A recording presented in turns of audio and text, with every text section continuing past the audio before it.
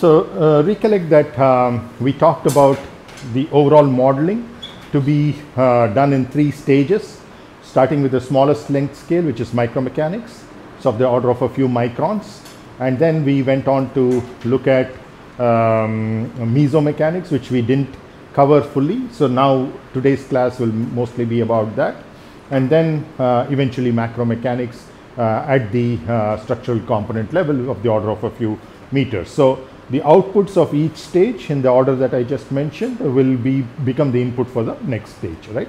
So we'll let's start with the second uh, one there, the, which is the mesomechanics, which is like an interface between micromechanics and macromechanics. Okay. Now here what we are trying to do is just to analyze a single layer of the composite.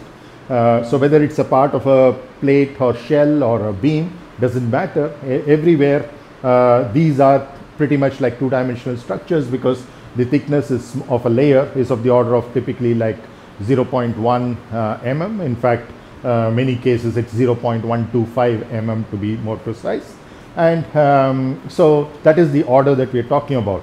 So obviously you can see that compared to the 10 microns that we are talking about, uh, the 125 microns that we are dealing with here is one order um, smaller we say because lower because one order lower essentially means something which is bigger in size right so that's uh, the uh, scale at which we are looking at whereas once we go from here to the macro mechanics uh, of course the thickness uh, typically um, in most wings like of passenger aircraft etc we will be uh, having about 80 100 layers and so on and so forth so if you are looking at 0.125 for each layer, so you might end up with a thickness of 12.5 mm or so.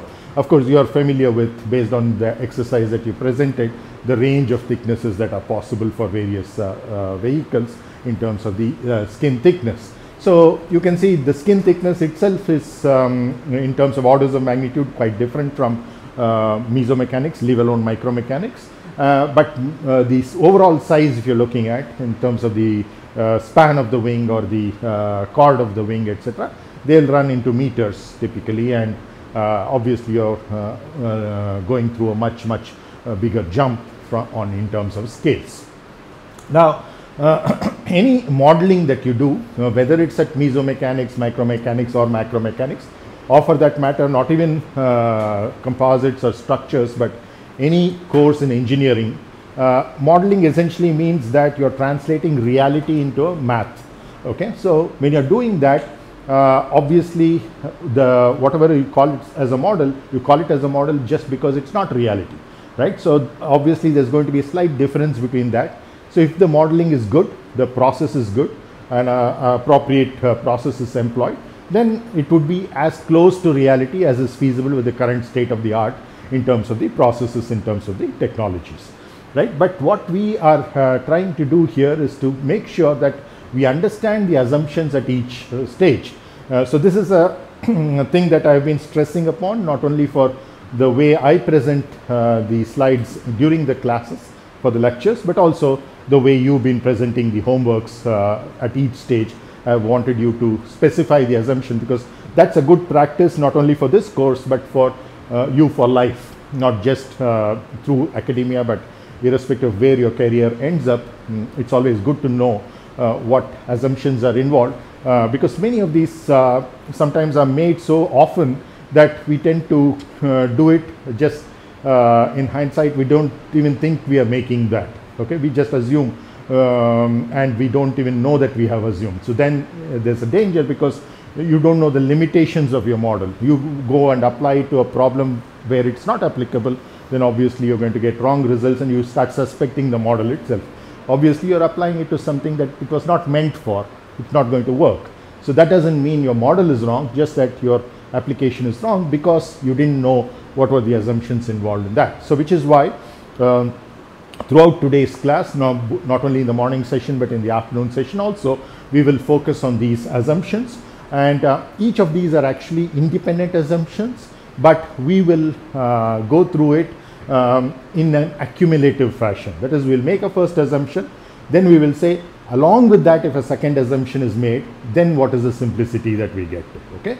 So, but truly speaking, eh, for some other application, you can make any one of these assumptions without the other assumptions. So it's not necessary that you go in that particular order, but for the uh, problem at hand, which is the mesomechanics and also eventually application to macromechanics, because we already showcased micromechanics how it is done, right? So now we want to see whether uh, the applicability for a large class of problems for application to any kinds of flight vehicle structures is there, which is what we would like to uh, make sure, right? So as always, we start our learning process with questions. So the question, of course, in terms of um, the whole structural analysis is about how, how are you going to do it, right? So in particular, what you're going to talk about here is how our uh, composites model for structural analysis.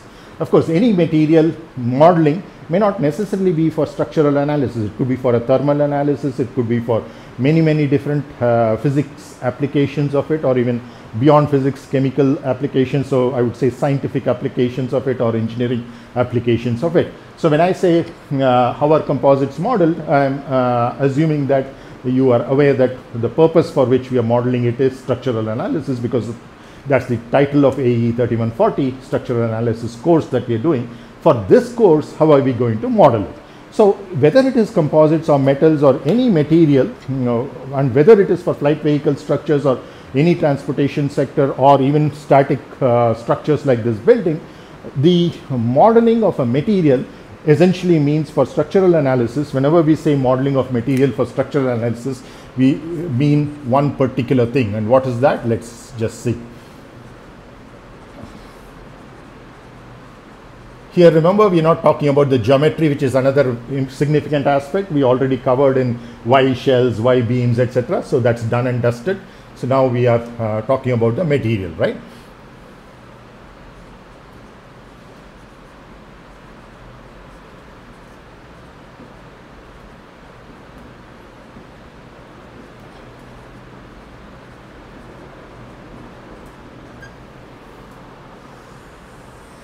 So here what we uh, eventually mean is to have what is known as a constitutive law.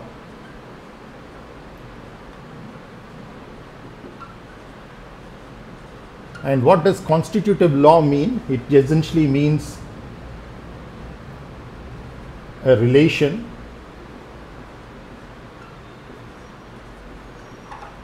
between stress and strain. Okay. So essentially we have to establish the relationship between stress and strain. So you, you, even before we get to that relation, we should be very clear about what we mean by stress and what we mean by strain. Okay, and both these quantities are three-dimensional quantities. So 3D stress and 3D strain. Okay, and whenever we say a quantity is 3D, all that we mean is that it's dependent on, in general, on all three spatial coordinates x1, x2 and x3 okay here also it's dependent on x1 x2 and x3 and most problems in flight vehicle structures uh, or for that matter any transportation sectors or even in buildings in areas which are subjected to earthquakes etc there is a time dependency as well. We don't explicitly say that as 4d stress. We just say that, uh, that it's a dynamics problem, but essentially from a spatial point of view, it's 3D is what we mean. So very clearly, if I fix x1, x2 and x3 at a particular instant of time, then I get a particular value of stress. Okay. So in other words, it's a function of a, um, a particular point at a particular time in an overall structure. For example, this could be an aircraft wing, a part of an aircraft wing, a panel, a wing panel, which is made out of a composite. And as we have shown over here, you see circular cross section on this side and a length along this, which means that the fibers in the bottommost layer are running along the length of this particular structure. This let's call this as length, this as breadth, and this as the thickness, right? So in all the layers, you see that the fibers are perpendicular to the thickness direction.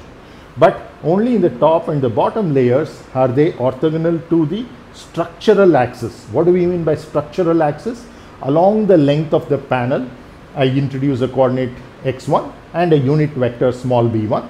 Along the breadth I introduce x2 and a, a unit vector b2 and along the thickness I introduce a coordinate measure x3 and a unit vector b3. Now these three are mutually perpendicular to each other. So you have an orthogonal system and b1 cross b2 is b positive b3 therefore it's a dextral triad okay. So in other words if this is a, um, b1 and let's say this is b2 then the downward direction would be b3.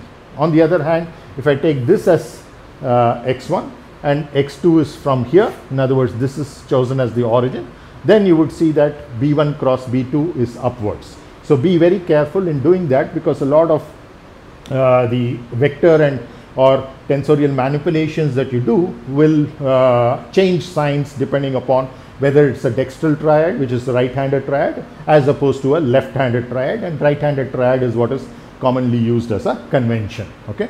So now that is very clear. Now coming back to the bottom layer you see that the fibers are parallel to the x1 direction and x2 and x3 are both perpendicular to it.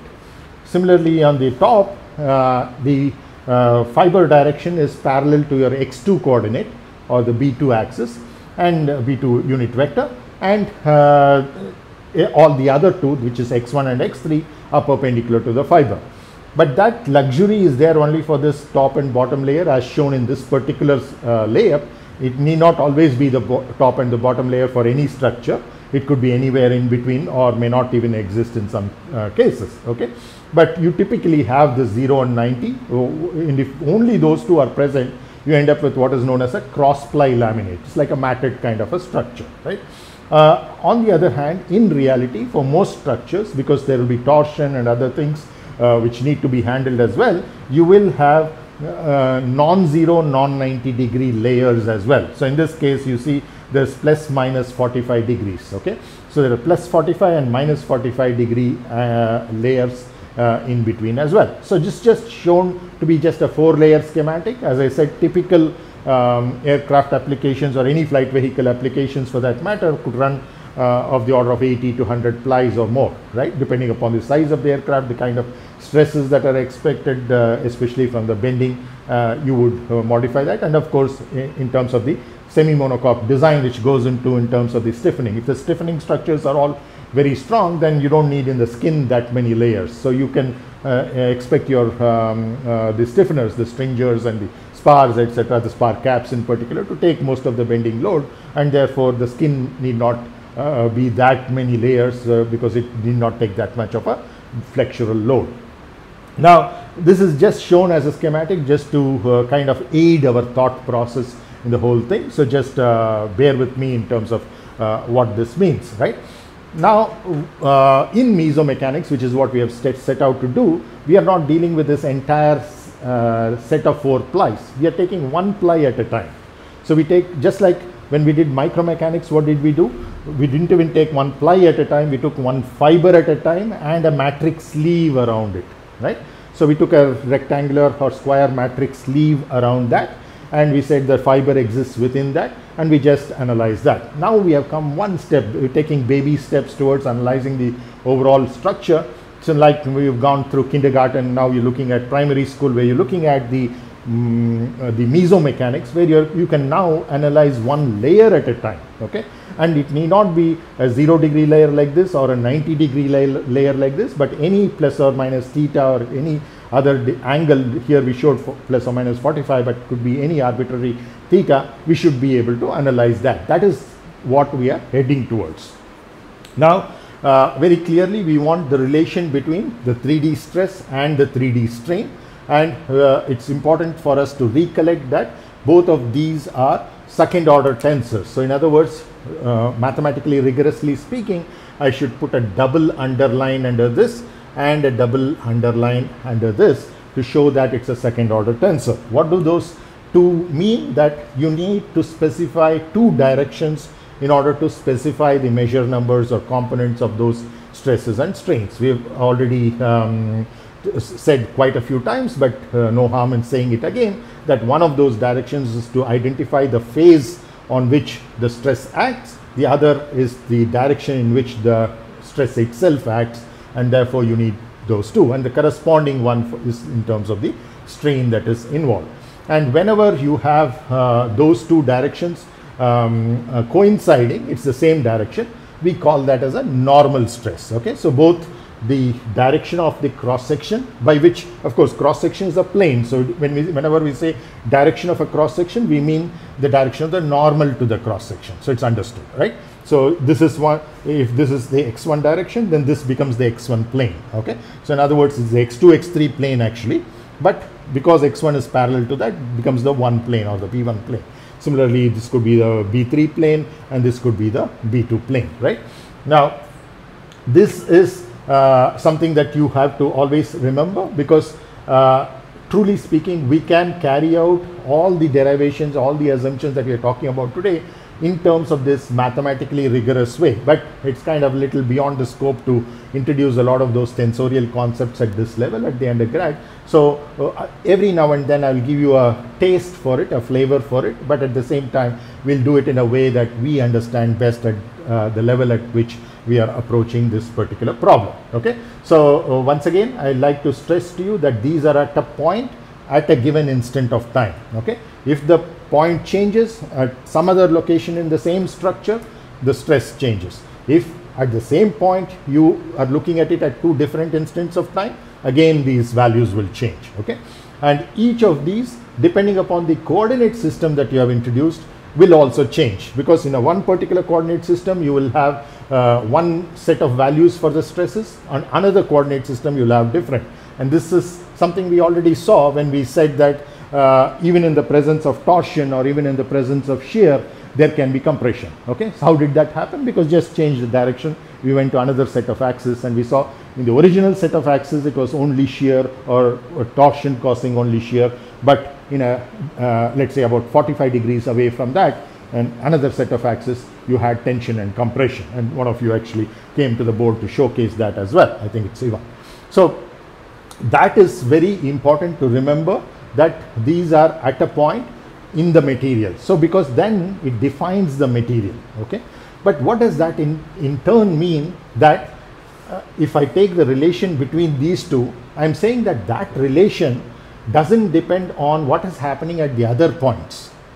Same way it doesn't depend on what has happened in the past because the time is fixed and what is what may happen in the future so it doesn't depend on the history or the future. It doesn't depend on what is happening in the neighborhood.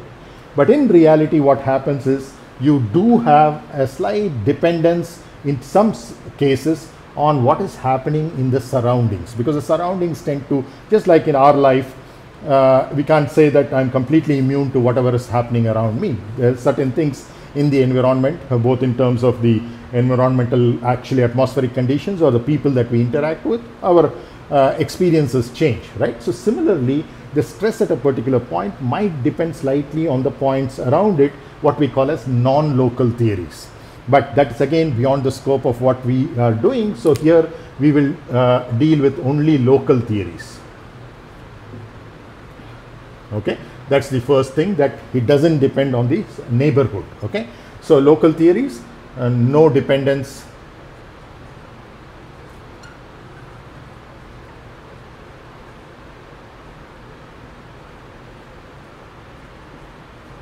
On the neighborhood.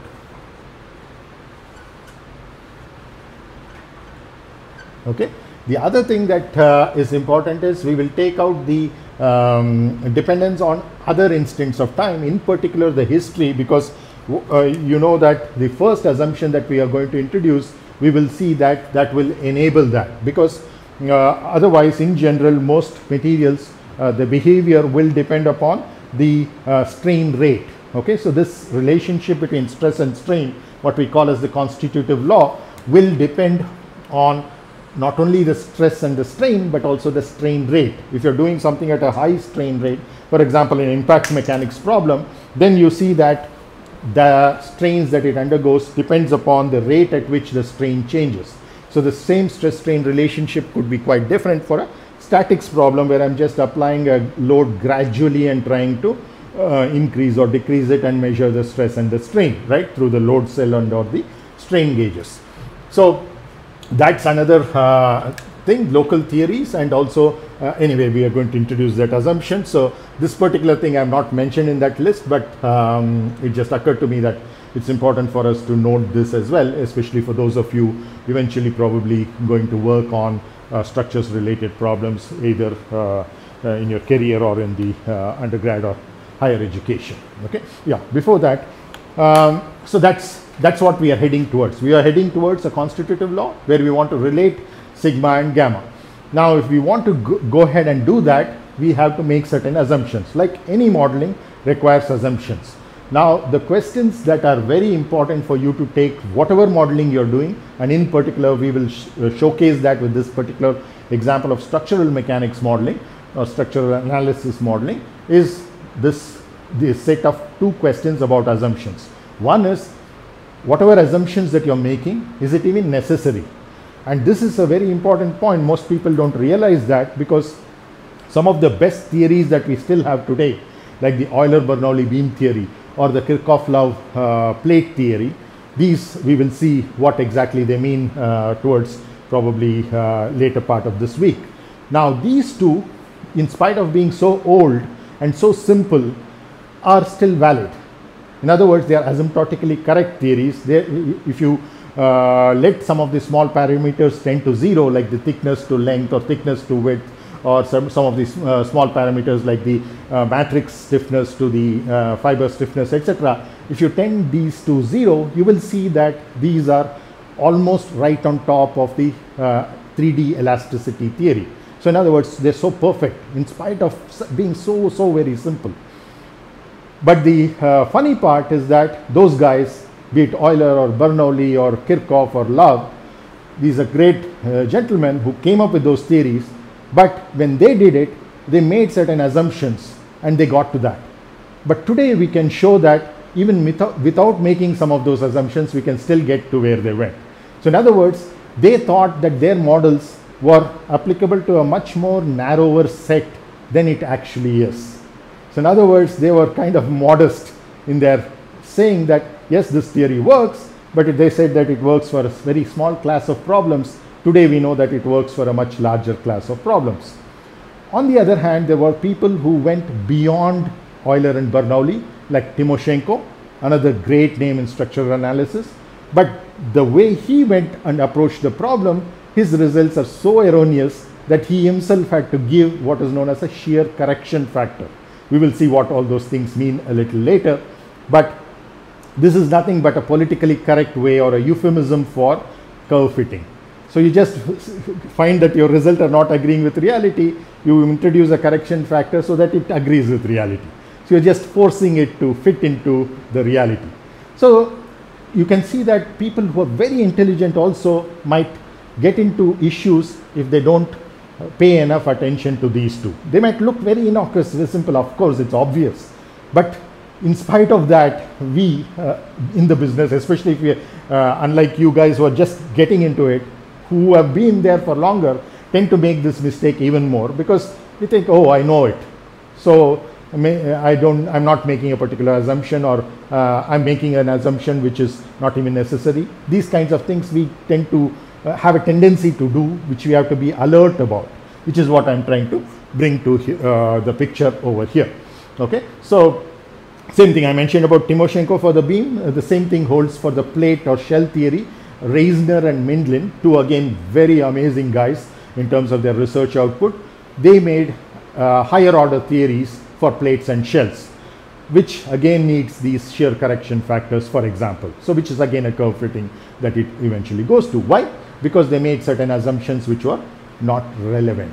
So, it's not only that you should not make assumptions which are not necessary, so that you know the larger class of problems that your model is applicable to. But at the same time, uh, you should also give away, give up on those assumptions which are not relevant to the problem that you're trying to tackle. Okay, in which case, because if you're making that, it will make your uh, solution even more narrower than what you set out to do. So you are trying to solve a certain class of problems. Now, um, the end result can either be actually valid for a larger class of problems or even smaller class of problems depending upon the no to either one of these questions okay which is why uh, you have to check for the necessity is it really necessary without making that assumption can i maybe a little more few more steps uh, a more little more complex derivation, can I get to the same result? Then you might as well get away with, get rid of those assumptions. Similarly, uh, in my actual problem, in the real problem, is that assumption really valid? Is it um, something that I'm uh, making an error about? So then you have to make sure that uh, those kinds of assumptions are removed as well. So this is uh, two important checks and the way we will approach this problem, I have a single slide in which I'll be talking for probably for four hours today. Uh, uh, the whole idea is that it's so important, okay? Because that's at the crux of the whole thing and this is pretty much um, three-fourths of your structural analysis done if you understand this well. So that's, that's the level of importance of this because as we do the assumptions, we will not only state them, but also see what is the mathematical implication and therefore actually uh, end up with that constitutive law finally in the final form that we would like to actually utilize it. Are there any questions so far on this? Clear, right? Okay, the first um, assumption that we are going to make, and I'm going to be using a color code throughout this whole process. Um, I'm going to use uh, green font, green colored font for certain things which uh, are uh, reasonably valid uh, for most of the problems that we deal with in flight vehicle structural analysis. So there's no issue with that. There's no uh, need to revisit that. Of course, there are extremes when you go closer to failure, when you're doing a crash investigation or damage mechanics and things like that, then you have to give up on some of these assumptions. But as long as you have a healthy structure operating within the design limits, then this is a reasonable assumption to make for most or almost all uh, structural materials. There might be things like, let's say, uh, you're using some other materials which could be getting into the so-called plastic regime or uh, more generally inelastic regime, then uh, obviously you'll have to um, relax this particular assumption. But rarely do you use for most of the structural components like the skin or the stringers or the spars or the uh, transverse ribs or the bulkheads, uh, etc. You rarely use anything which is inelastic. Um, now I think I'm sure from the deformable bodies course you know what is an elastic material. So either of you, uh, what, what, what exactly do you mean by an elastic material? So it returns to the original shape of Very good. Yeah, yeah, yeah, yeah. Right. So the first important thing is it returns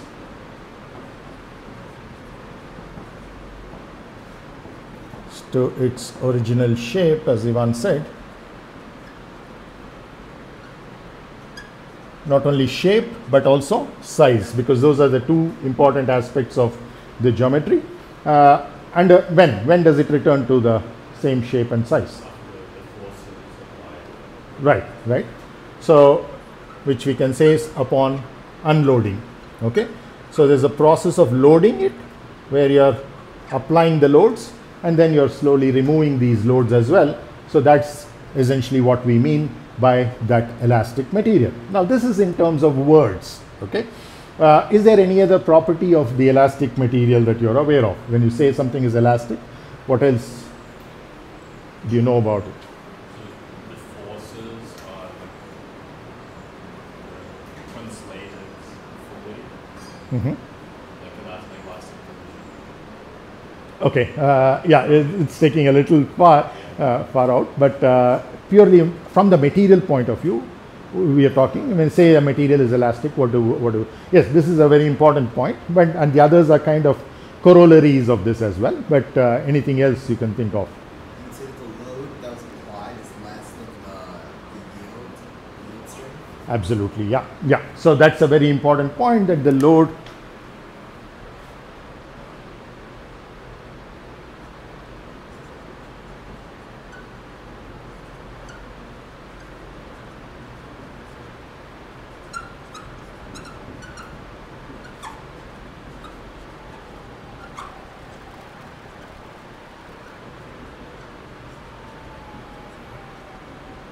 So that's a qualification. It's a very important thing Nafi's brought about that um, when will this happen? Only if, uh, so this is good enough for uh, elastic material, but um, that will not happen. In other words, it will not return to its original shape or size, but it will have some residual stresses and or strains uh, depending upon the boundary conditions that are involved, of course, upon unloading because the load has gone beyond the yield strength of that particular material or set of materials that we are dealing with, right? Because here it could be fiber, matrix, whatever.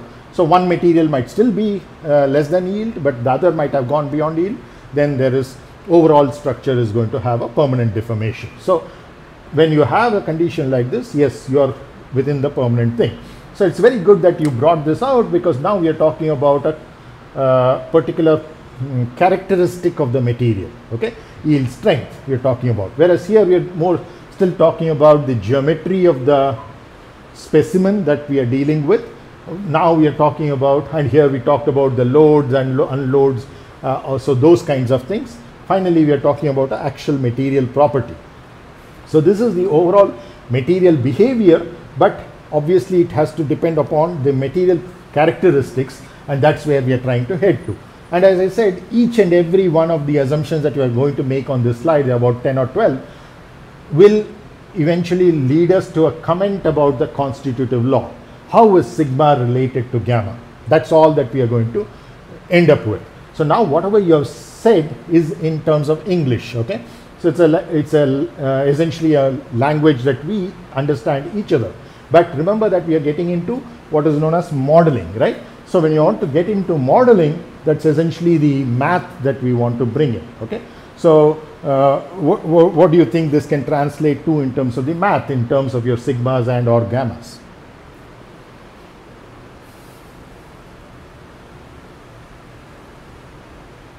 Well, if we're talking about elastic materials. Yeah.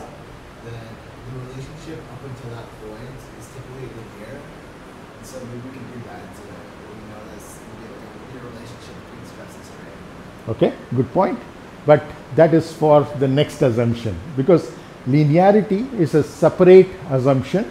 Uh, you can have a linear elastic material, a non-linear elastic material, a linear inelastic material, non-linear inelastic material. So these are two very different um, expressions of what the material will do.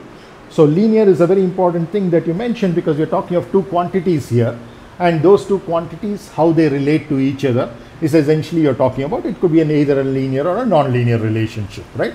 But elastic not necessarily means that. For example, if you're plotting a, see this is generic uh, stress and strain. Uh, I have not even introduced the coordinate system here. So, and after I introduce the coordinate system also, I can have nine components or nine measure numbers for stress. Similarly, nine measure numbers for strain, right? So assume that I have introduced this structural coordinate system, uh, x1, b1 along the length, x2, b2 along the width, and x3, b3 along the thickness, right? Now, once I have that, I can now, whenever I say 1, 1 or 2, 2, I know which directions I'm talking about, right? So if that is the case, I can plot, for example, just to illustrate what is an elastic material. This has to hold, of course, for all the sigmas and all the gammas.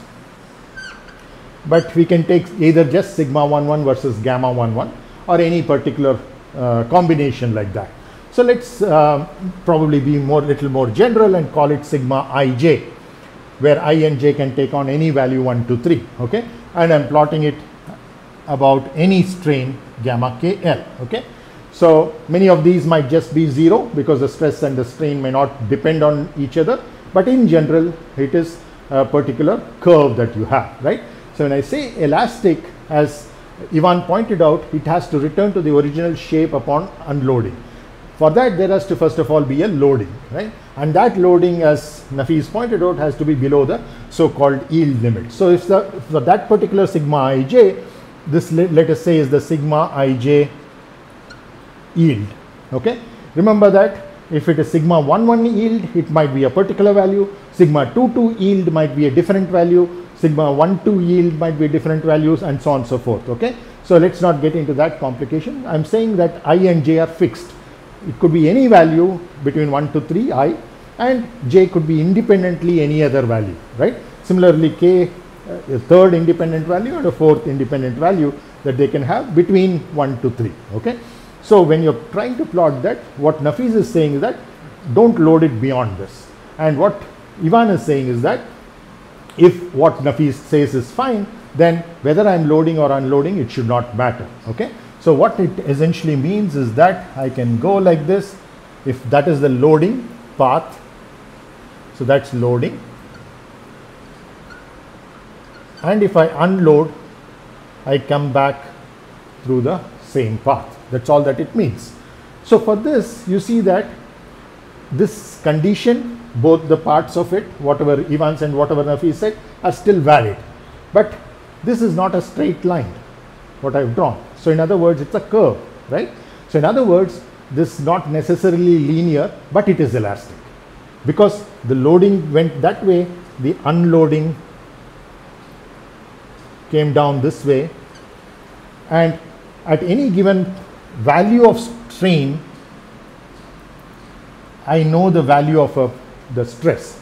So this is one particular gamma KL, let me call it gamma KL naught, a particular numerical value at which I know the particular stress value sigma ij naught.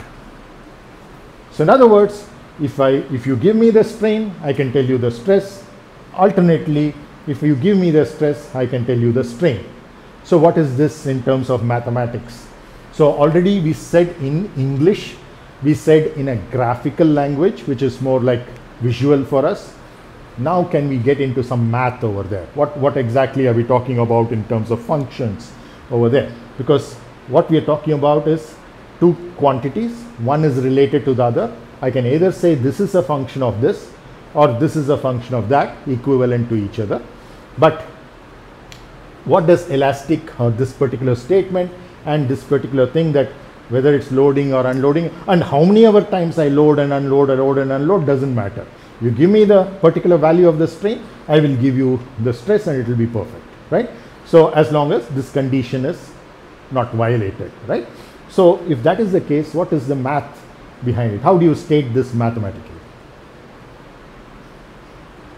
At least we can say that there's like a, a directly proportional relationship between the two variables. And we can also say that there's there would be like a y-intercept type of uh, uh, term in the mathematical Yeah. So if you're looking at um, y-intercept, I can still have another curve like this. It can which can go like this, right? So that also, if it is as long as it is, let's say uh, under the yield limit, I'm, I can go back, load and unload, and come back on that. So it has nothing to do with the intercept uh, or a straight line because that is again venturing into the next uh, um, assumption, which is what I want you to be really careful about because this is not something that um, is an issue with undergrads, but I see people even at professors levels or uh, people who are well educated or even those working in the industry making this mistake. If they, they think that if I say elastic, it means linear. And if, if I say linear, they think it's elastic. It's not true. These are two totally different concepts. Yes, many a times both might occur for the same kind of materials. That doesn't mean that the meaning of the sentence changes. So here what we are saying is that it can be any kind of curve. And of course, straight line is a example of that curve. It's a very, very specialized case of that curve. And that straight line could have a y-intercept, need not have a y-intercept. That's also acceptable, right? But what, uh, so this could be, for example, a situation where you manufacture certain, certain components with what are known as residual stresses. So you build in a particular stress during the manufacturing process itself so that when it is not loaded, it will still be under a particular uh, stress or strain. So that's essentially uh, the kind of uh, uh, structure or that particular case is still elastic. In other words, loading and unloading paths are the same. And how many ever times I'm loading or unloading, give me a stress, I can give you a strain. And there will be nothing wrong about it, right? So that's essentially what that means. Okay, so how, coming once again uh, back to give you a hint of what I'm trying to get at. Remember, at the end of this whole uh, slide, I'm trying to get at a as simple a constitutive law as I can, which works not only for composites but for metals as well. Any material that is being used for uh, building a flight vehicle structure, uh, we already have done with the geometry, so we are only dealing with the material now. It's a pure material property. Constitutive law is a pure material property, and that uh, is something that will involve all these limits that you cannot go beyond something, etc. But at the end of the day, it has to be a relationship between these two guys. Okay, and uh, that's a mathematical relationship because with the double underlines, you don't even have numerical values for it, not even a matrix form for it. Okay, you can have a matrix form as soon as you introduce b1 b2 b3 coordinate system or the axis once you have an axis set of axes and they need not be mutually perpendicular to each other they can be curvilinear uh, they can be need not even be straight lines. This is this could be the x1 axis this could be the x2 axis this could be the x3 axis as long as they those three are not collinear and coplanar okay? So as long as they are not uh, parallel to each other uh, in some sense not in a single plane nor are they coinciding with each other uh, if you just move by a particular distance they don't become uh, parallel in other words they're not parallel to each other. So neither collinear nor coplanar then you can have a co- coordinate system. As soon as you introduce a coordinate system you can write sigma and gamma uh, as matrices okay? Uh, which will typically be a 3 by 3 matrix because we are dealing with three dimensional space.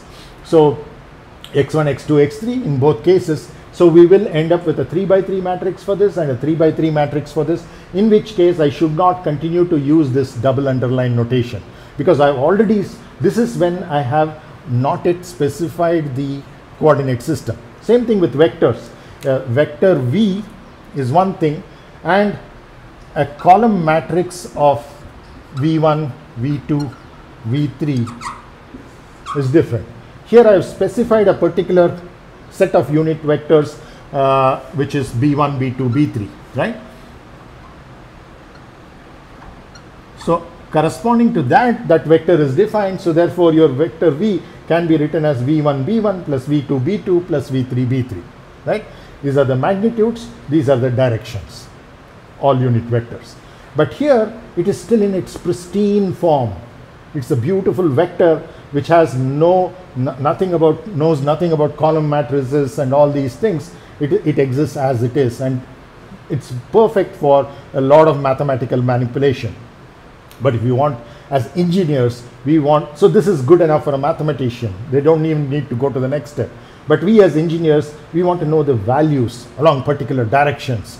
Then we come to this and which directions we are interested in, and then find out the magnitudes along those directions. That's where we get to. But some other engineer might say, I don't want along B1, B2, B3. I want along as another set of axis uh, unit vectors A1, A2, A3, right? So then he will get totally different values for V1, V2, V3, right? It could be V1 star, V2 star, V3 star. Okay. Of course, they're related to each other in terms of what angles A1, A2, A3 make with B1, B2, A- B3, and we can transform from one to the other, etc. All, all of which you are already familiar with. But very important for you to remember that when I write without the underline, I'm essentially talking about a column matrix, and when I write with the underline, I'm talking of a mathematical entity which uh, um, has not yet fixed a particular coordinate system into it, and all that uh, uh, V has to obey, this particular V will obey, irrespective of which coordinate system it is in. So that's uh, very good for people to do uh, derivations and things like that. But once you want for a uh, numerical values for a particular implementation you want to know, then this becomes important. Same thing over here. This is in its pristine form B1, B2, B3 either for the cross section or B1, B2, B3 for the uh, the direction of the stress itself are not yet specified. So that's exactly what we are trying to do over here.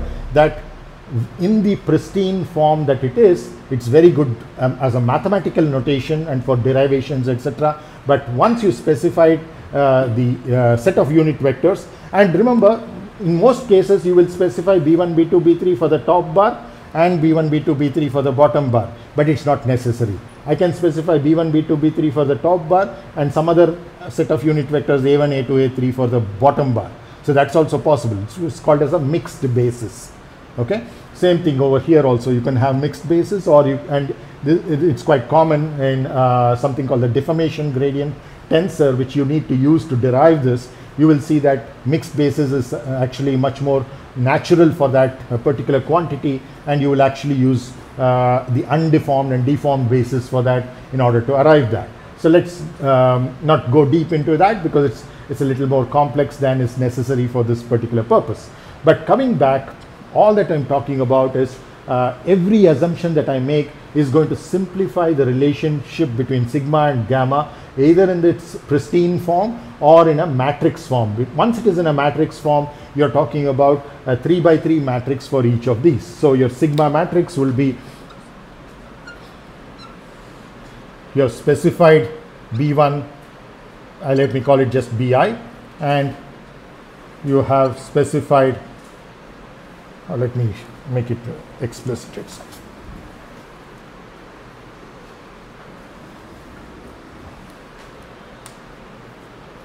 So the first underline that I have, I choose B1, B2, B3.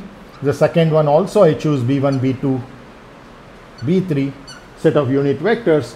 So this gets fixed no longer in its pristine second order tensorial form, but in a particular matrix notation, which would be sigma 1 1, sigma 2 2, sigma 3 3, sigma 1 3, sorry 1 2, sigma 1 3, sigma 2 3, sigma 2 1, sigma 3 1, sigma 3 2. And always remember that the first uh, subscript is identifying the row for you and the second subscript is identifying the column for you. This is something you're already familiar with, just reminding that, right? So keep that in mind. Right. Now, uh, this is a stress. Similarly, you would have for the strain as well. Uh, all that will replace is the sigmas with gammas, right? So you have gamma 1 1, gamma 1 2, gamma 1 3, etc., all the way to gamma 3 3. That's that's what you have. So now, uh, what can we do about this when we say that it's an elastic material? In English, you said it returns to its original shape and size upon unloading after loading below the yield strength limits. Perfect. Okay, that's the right way of defining your elastic material. Same thing, we went to uh, define it graphically. One is linguistically, the other way we are trying to look at it is graphically. All that we are seeing is that irrespective of what the path is, uh, whether you are loading or unloading or how many times you have loaded or unloaded, you given a particular value of either of these quantities, the other quantity can be got. Okay, so in other words, what is it mathematically speaking? Because here we are talking of sigma ij as a function of gamma kl, gamma kl as a function of sigma ij. So when you have such a functional dependence that given one you can get the other, what kind of a function do you call that?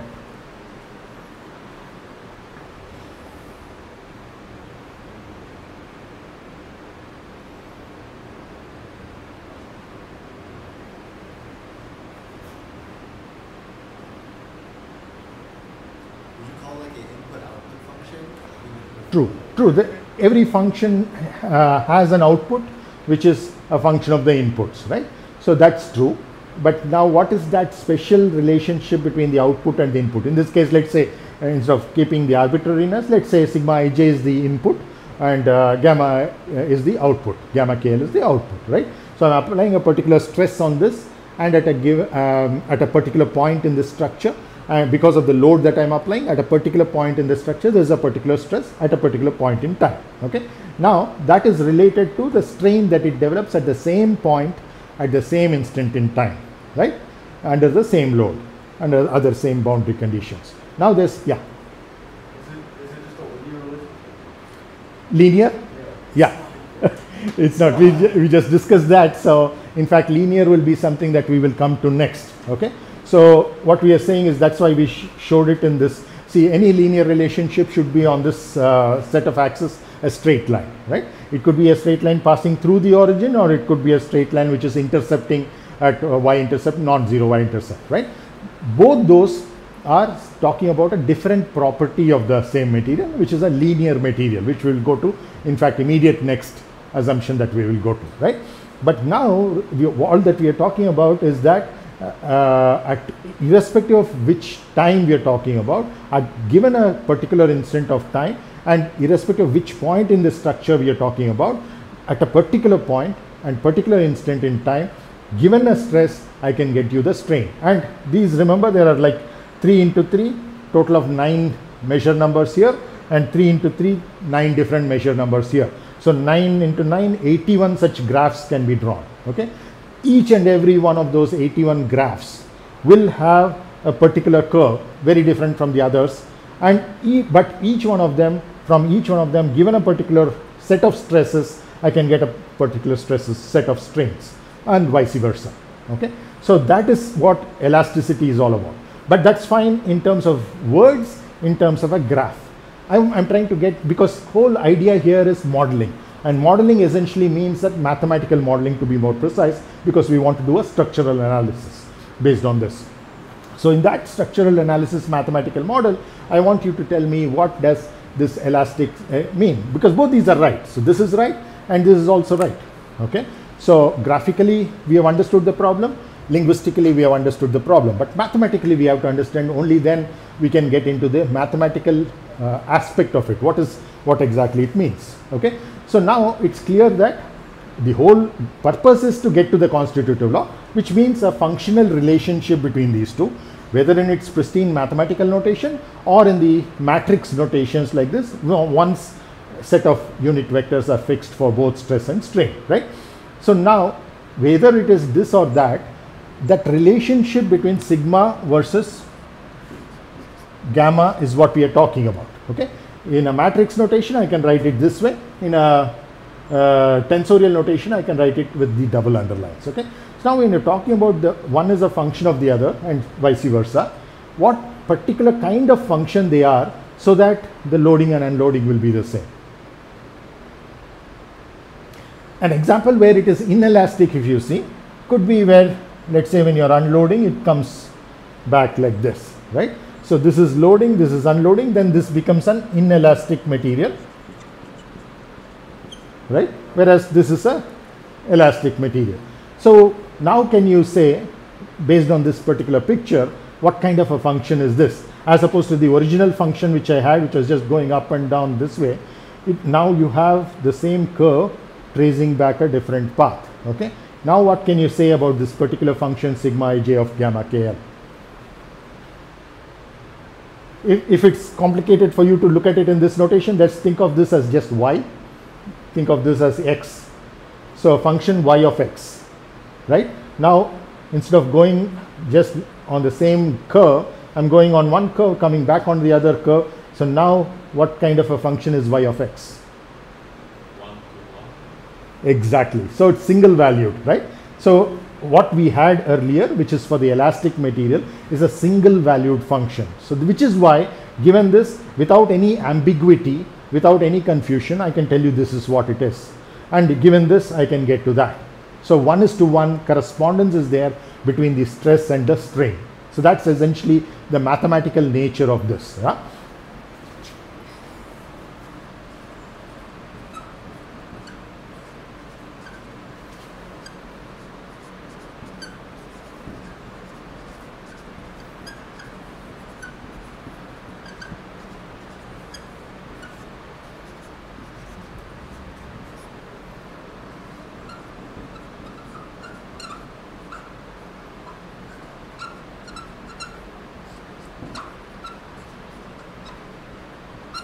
So, so I can write, let's say your sigma, that matrix as a matrix function of sigma of gamma this way, right? So, and that holds for every one of the uh, measure numbers of sigma as well. So once I, because once I've got it into a matrix notation, I've already fixed the set of unit vectors and we will not complicate problems by saying two different sets of unit vectors, which is possible in general, B's and A's, but we'll say both are B's, both in the case of sigma as well as gamma. So once I have that, I have in the form of a particular matrix, then I have nine measure numbers for that, just like we explicitly wrote out for the stresses. Now I can write the same thing over here, which is your sigma ij KL, right? Now ij, k and l take on the values 1 to 3 and as I said all Latin indices the default is this. Whenever we use Latin indices we will say it goes 1 to 3 if it's a uh, Greek letters we will say it goes only 1 2 which is very convenient to do, deal with both uh, plate problems as well as beam problems when we get there right? Now uh, there are also uh, exceptions to this. So this is uh, the default but we will very soon see once we make a few assumptions we will take this all the way up to 6 1 2 3 4 5 6 okay? So let's say that this is the default. If i don't specify this then yes they take on the values 1 to 3 but coming back to this particular approximation that we did elastic all that it is saying is that this is a single valued function. And it's a it need not be a linear function which is what i want to bring it to, to the point because both Na- nafis and and i mentioned that uh, it's a straight line or it's a linear uh, curve it's not necessary okay? So that's a separate thing okay? So now uh, all that this is saying is that if given this i get that. Because the other example if you see the negative example then you can see what exactly i mean. For a given value of gamma kl i can get two values of stresses. So if i take another instead of this gamma kl naught i take some other gamma kl star then you see there is an ambiguity. I can either have this stress or this stress, and if I don't know the history, I don't know whether I'm loading or unloading, I don't know which of them it might be.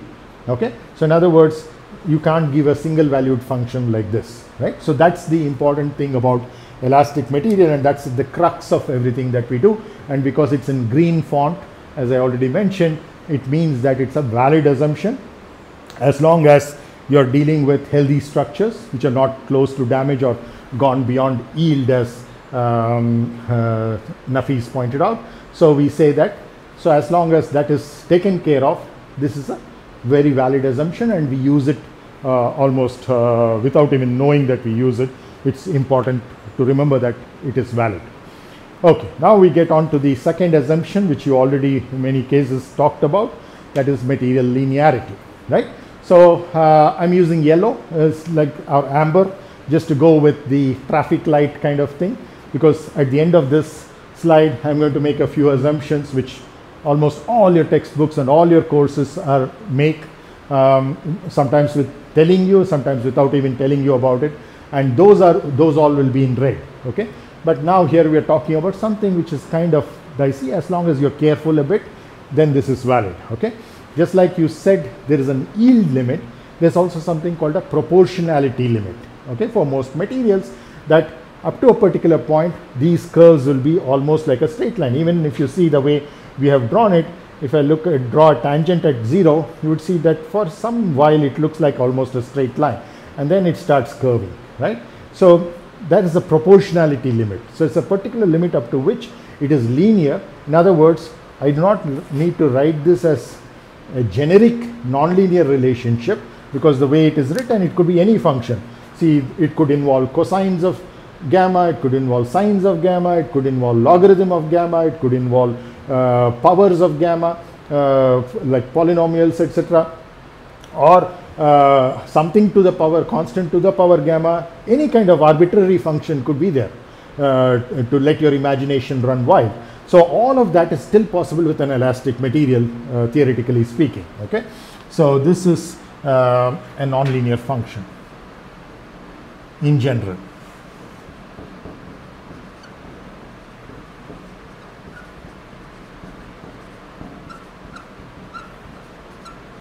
So, so far whatever we have done is only for the first assumption. Now if we bring the second assumption, then I can say these two are related uh, in terms of constants of proportionality. Some of you mentioned proportionality uh, as well in a different context there, but that was not valid there. Now it is valid. Okay. So in other words, if I write this sigma ij after making the second assumption, so this is elastic. Which was our first assumption. Now the second assumption, material linearity.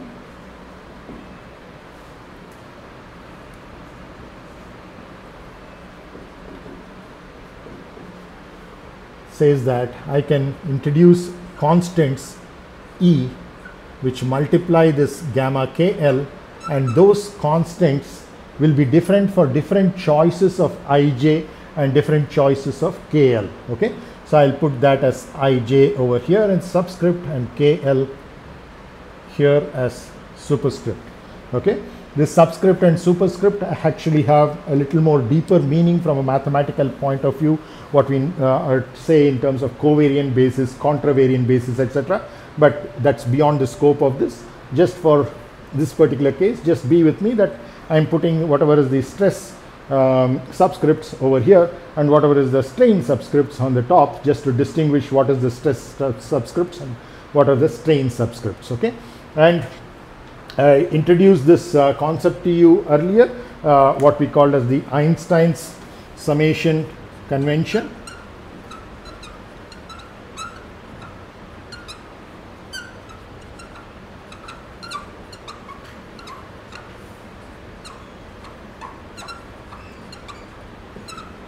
which all that it says is repeated indices on one side of the equation, in this case RHS, right hand side.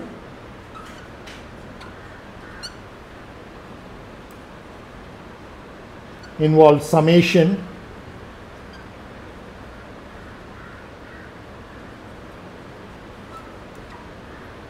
over their entire range.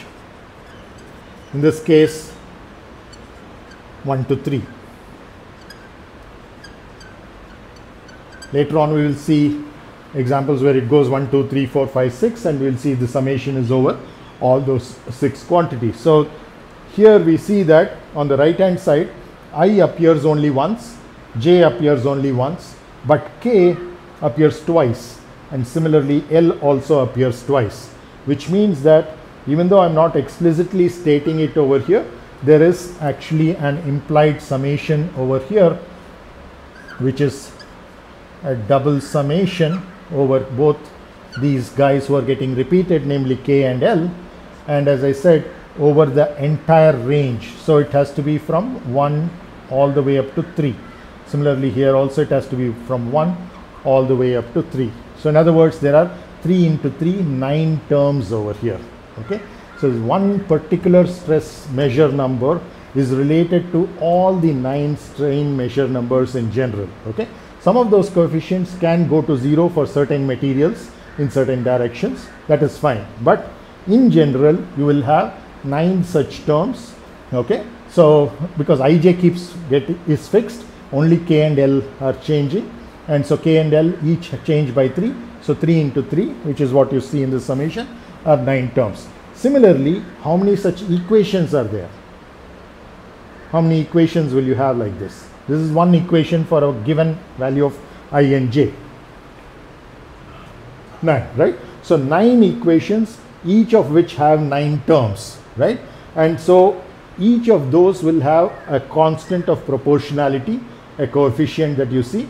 So, there are 9 into 9, 81 such coefficients. So, it's very clear even by just looking at this um, subscripts and superscripts that each of them have 3. So, it's 3 into 3 into 3 into 3 or 9 into 9 which is 81, right. So, that therefore, there are 81 such coefficients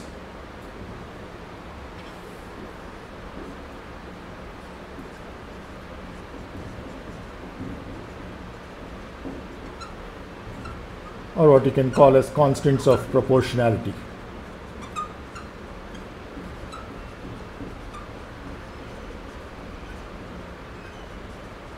Because there are nine equations and each of the nine equations has nine terms in it. So, total of 81 terms and each term has a constant of proportionality. So, therefore, there are 81 constants of proportionality or 81 coefficients. So, now what this linearity is essentially doing is instead of the arbitrary nonlinear function that you had is simplifying it by saying that all of them are linear functions and if you need to know all of those relationships fully in general you will require 81 such coefficients okay? And if this were really the case and a particular material had this level of uh, simplification to uh, two levels of simplification only elastic and material linearity then you would have to do actually nine experiments. Each of those nine experiments you will apply only one of those stresses sigma 1 1 only in one experiment sigma 2 2 only in one other experiment etc and each time you will measure through strain gauges all the nine strain strains and then therefore based on those plots that you do you will get up get those nine coefficients the numerical values for that and then you will have this full relationship between sigma ij and gamma kl. Now this is an indicial notation.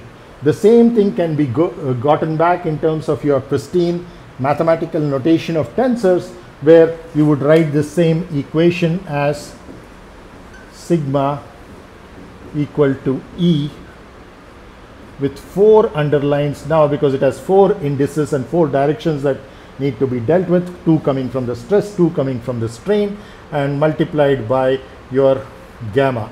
And the way uh, this particular multiplication is written remember that when you are talking of vector multiplication you are uh, familiar with dot products you are familiar with cross products etc here it's like a double dot product that you are essentially doing. Over here to contract two of the indices associated with k and l so that only i and j are left. Remember there in, in e you had i j k l but because there is an implied summation over k l the two of that gets uh, reduced through these dot products. I'll come to you. Uh, and then you end up with just two remaining indices i j yes Anand. Can you re-explain, what do you mean by double dot product? Very good, yeah. So essentially what you're doing is how do you actually carry out this summation, okay? So what you do is you keep k fixed, let's say 1, and then you keep on varying L. 1, 2, 3, you get 3 terms. Now you, you change k from 1 to 2, then you get to another set. So that's exactly, so it's essentially dot products going in a sequence, okay? So you carry out one dot product at a time based on one of the indices, and then you carry out the dot product based on the other indices. So it's essentially you're nesting the two in between, and yeah, absolutely. Uh, That's what it, uh, Einstein's convention is, right? So you're talking about the double summation that you're having. Yeah. So that's what is adding up. Okay. First you add up uh, within a bracket, and then you add up those brackets, bracketed terms. Any any other questions on this? So right now we have made these two assumptions: elastic and material linearity. Again, remember that we're not talking of linearity in general. There can be various other types of linearity as well. Here we are focusing on material linearity because our whole purpose on this slide and in uh, whole of today's class, all four hours, is to deal with the material model. We already have a geometric model in place for beams, uh, shells, etc. We have talked about it qualitatively. We'll come back to it quantitatively later on. Right now, our focus once again is back on the material alone, and uh, because the material again, we're not talking of any kind of physical or uh, chemical properties, etc. We are only interested in structural analysis, and therefore the uh, correlation between the stresses and strains at a given point x1, x2, x3 at a given instant in time. Uh, I'm not tiring, uh, tirelessly telling you this uh, repeatedly. It might sometimes seem boring, but this is very, very important because many tend to um, take this for granted, and that's what they get into problems with, which is why it's very important for you to understand that these are point functions at a given point in the material at a given instant in time. Okay, at any other point in space and or any other instant in time, they will be different, and you will have a different set of relationship there. For example, if you take this heterogeneous structure over here in one of the layers, you see if I'm at a point here, if my x1, x2, x3 is such that I, it points to this particular point in time at a given instant in time, then obviously I've, what it leads to is the sigma and uh, gamma relationship for a fiber. On the other hand, if I'm somewhere here, it leads to the sigma and gamma relationship for a matrix, right? So which point in the structure I am at will indicate which of these is the actual uh, relationship that I'm doing and therefore for which material part of that overall structure or component that you have. Okay. So now we have these two uh, equations. We have also talked about 81 coefficients. Now we get on to the third of these. Now even before, uh, maybe I should have talked about it uh, even uh, before I went to this slide, is that even though I've been talking about gamma being a second order tensor and once it's expressed in set of uh, basis vectors, it becomes a 3 by 3 matrix like this. Instead of sigmas, you have gammas.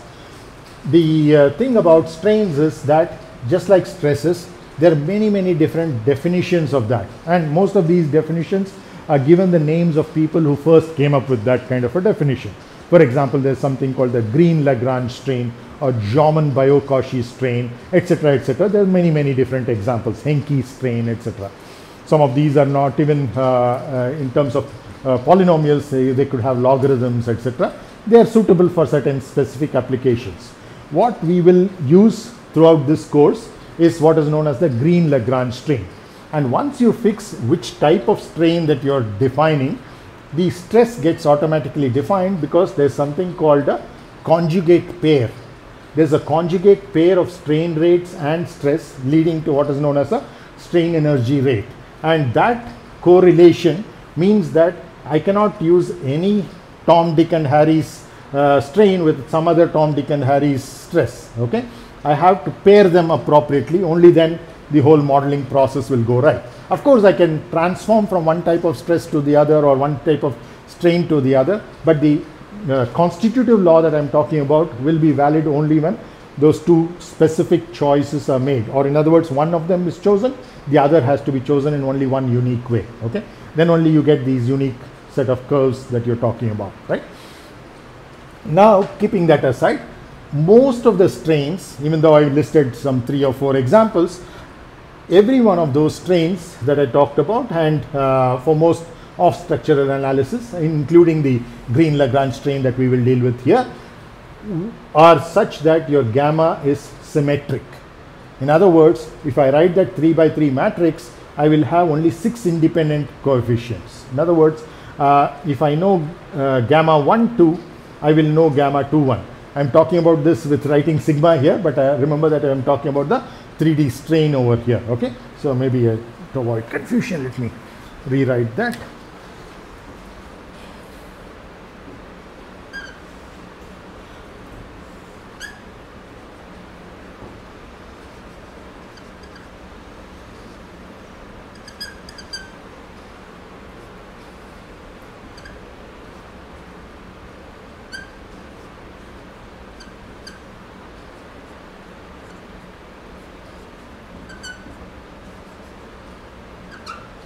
So when we say this matrix is symmetric, the off diagonal terms have a certain relationship between them. These two are equal to each other and these two are equal to each other. So in general we say gamma i, uh, let me use the same dummy index what I used, it doesn't matter but just to avoid additional confusion over here.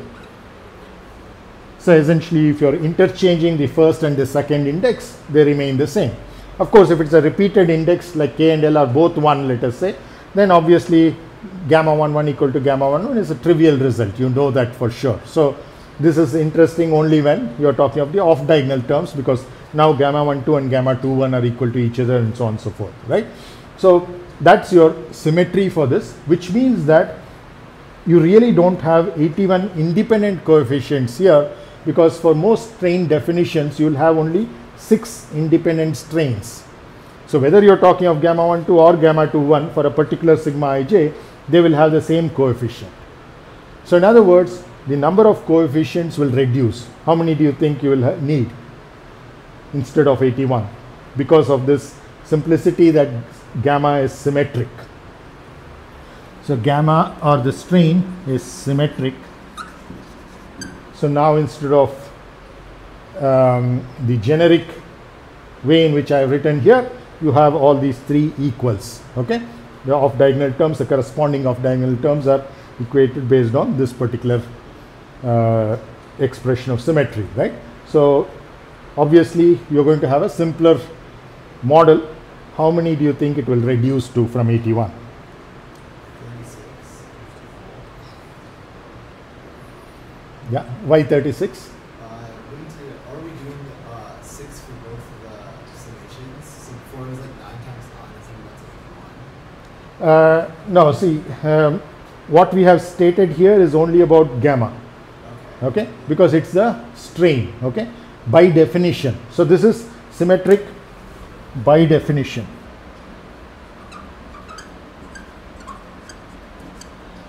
So most kinds of gammas that we will use, like Green Lagrange or Jaumann by Cauchy, etc., they are all symmetric by their very definition. If you look at the definition, you interchange the subscripts, you will see that it remains the same. So, the, which is why we say it is symmetric.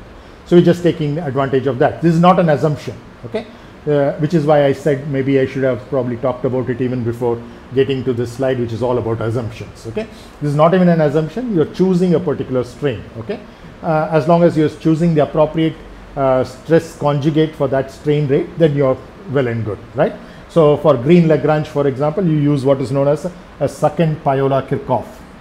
So, this is green Lagrange. Uh, you don't need to remember this, but just an additional information. So, it's a green Lagrange strain and its rate of change is um, conjugate to what is known as a second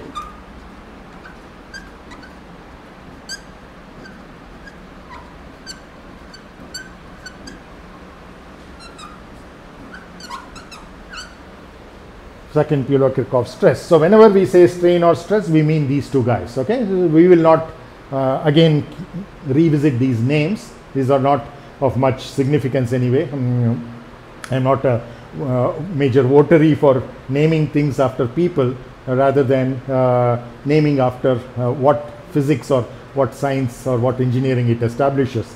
Of course, we just it's just a question of giving honor to those people who uh, brought it out, like we say Newton's laws rather than laws of mechanics, right? So uh, something like that. So this this is all that it is. So um, for all practical purposes, when throughout this course, when you're talking of the stress and the strain, we are referring to these two guys, but without mentioning their names as stress and strain itself, right?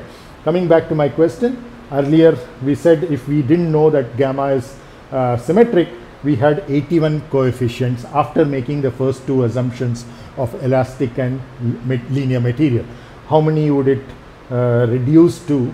And one of you said 36, other said 54. Can you argue out which is?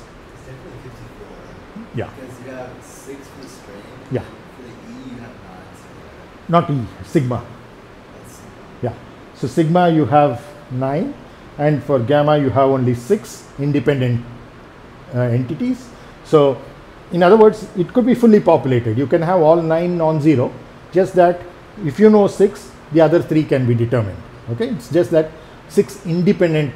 So it should it's very important to remember the number of non-zero coefficients need not necessarily be the number of independent coefficients. Okay, number of independent we know that if you give that many number, then I can get the rest. That's all that it means. So I need three normal strains and any three shear strains of course not any three uh, one of each pair because I, if you give me this this and this then obviously I don't know this right? So you have to have one of each pair. So then you end up with three shear stresses three shear uh, normal stra- sorry three shear strains and three normal strains. So you have total of six and those six have to be related to these nine guys okay? So 9 6 are 54 which is what uh, Ivan mentions. That's 54 coefficients or constants of proportionality that we have. Is that clear? Yeah. So, are they equal, equal, or are they just no related? They, they are equal equal. So exactly gamma 2 1 and gamma 1 2 are exactly equal to each other. Okay. So let's take a simple example of a linear strain definition.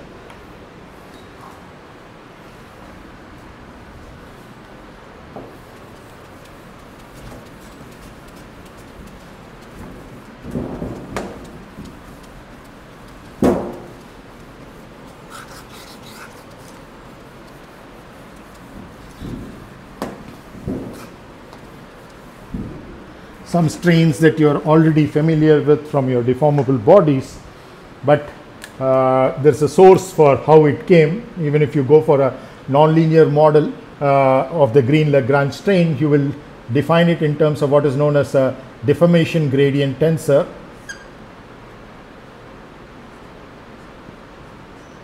And this would be your gamma, but a simplified form of that, a linearized version of that would be what is uh, you are familiar with. Let us say you're you're talking of let us say not this. Let's say gamma ij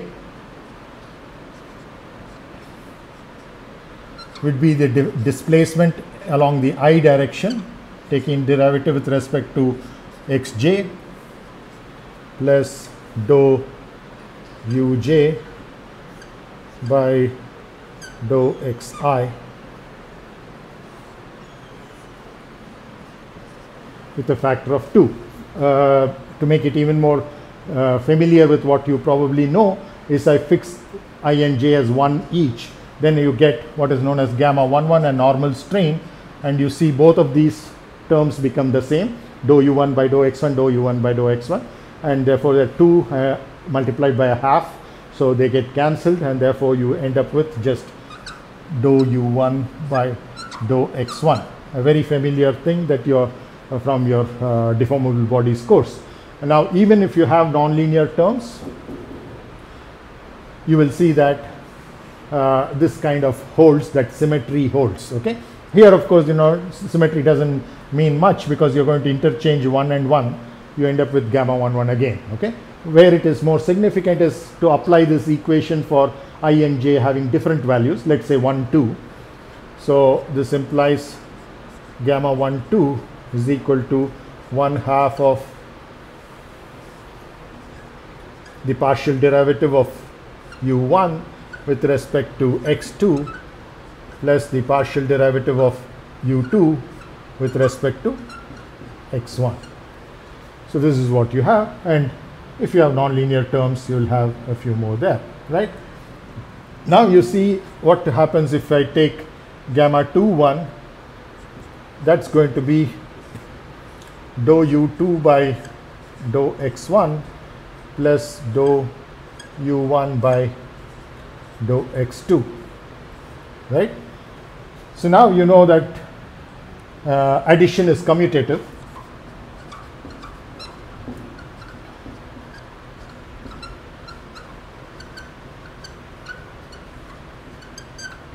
Whereby all that we mean is if you have a, some two quantities a plus b you can interchange the addition and you get b plus a right? So that's exactly what's happening within the brackets over here. So for gamma 1 2 you have this uh, uh, terms 1 and 2 now it's getting interchanged. The second term is coming over here. The first term is coming over here just by expanding this same rotation that we have. So all that it's doing is that these two are equal to each other. So by very definition we see that gamma 1 2 and gamma 2 1 are equal to each other. Uh, is this what you meant? By equal equal uh, right? So uh, you're satisfied with what what i talked about right? So now uh, that's that same thing holds with uh, other most other definitions of strain as well. And uh, will also hold. And this a is not something you need to be bothered about but since i wrote it out i should also specify what it is. It's called the deformation gradient tensor okay? Dgt deformation gradient tensor. And um, uh, in the original tensorial notation you will have a double underline for each of these quantities because they are all second order tensors. The i is the uh, identity dyadic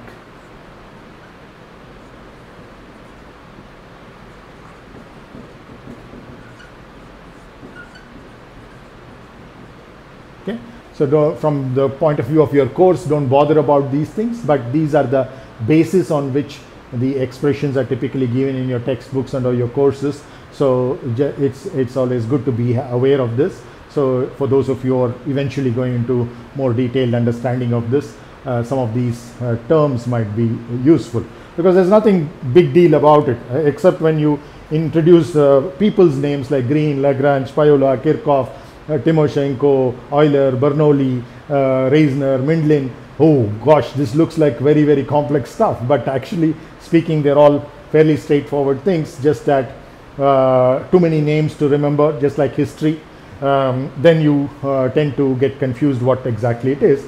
But for most purposes, there's very simple math going on in this whole process, and uh, you will end up with something that uh, you see is uh, fairly reasonable, what agrees with what you uh, see in simplified versions of the same equations in textbooks, etc. Right? So, what is the time now? You still have time. Good. Uh, so, are the first two assumptions and the fallouts clear for you so that we can get into the third assumption? Anybody has any questions, doubts? Good to go? Yeah? Okay. Let's uh, get to the third one. So maybe I'll just erase some of these things to create space for that.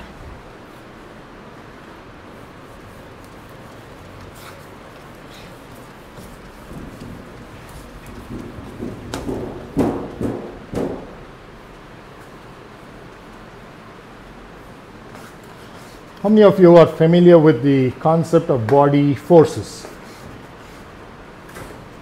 Body forces, yeah. Can you give an example, uh, Nafis, uh, body forces? Very good. Yeah, yeah, absolutely. Why do we call it a body force uh, uh, as opposed to any other force that you're familiar with? Very good. Yeah, yeah. So essentially distributed within the entire structure. Okay, both its surface as well as its interiors. That's a body force, right? And we'll talk about it quite a lot because that's something that we experience even on our own body. Uh, as you mentioned, weight is an example of a body force because of gravity. And essentially, you're putting uh, a particular structure in a particular field, right? It could be a, a gravitational field, it could be any other force field. And um, different parts of that body experience different uh, levels of forces. Uh, you typically call that body forces, and you want to get the resultant of that, you integrate that. In the case of the gravitational field, you get the, the weight of that particular body, right?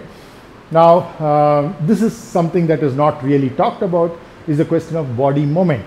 So, but since you know body force, I think you can very clearly see what body moments mean. Any guesses on that? You don't need to give examples, but what do you think a body moment is? Some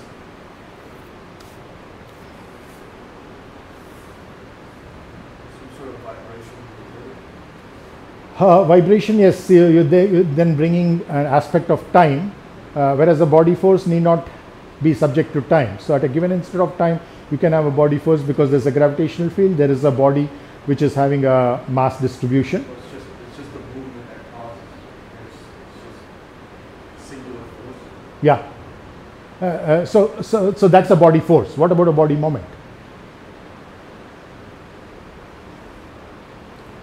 This boils down to the uh, difference between a force and a moment, right? So, what do you mean by a moment? Distance times force. Exactly, right? So, essentially, you have a couple or a torque, right? So, uh, two forces which are opposed to each other, and essentially the distance between them, or even if there's a single force about a particular point, you're taking the moment of that, right? So, essentially, there's a distance of the force, as you rightly pointed out, uh, uh, from the point at which we are interested in, right? So, when you have something like that, you end up with what are known as body moments, okay? So, uh, one classic example of where body moments are there is in a magnetic material which is in a magnetic field. So, you have what are known as dipoles. So, each of the um, uh, small quantities of material is made out of a few dipoles. So, it's a dipole distribution that happens there, and each one of them, uh, depending upon the magnetic field, experiences a moment. Okay, so it's a moment distribution throughout the body. Okay, but rarely in structural analysis we do we use um, materials which are magnetic or uh, in a magnetic field. Of course, the Earth is a huge magnet; the magnetic field is there, but rarely you use magnetic materials to construct most of your um, structures, right?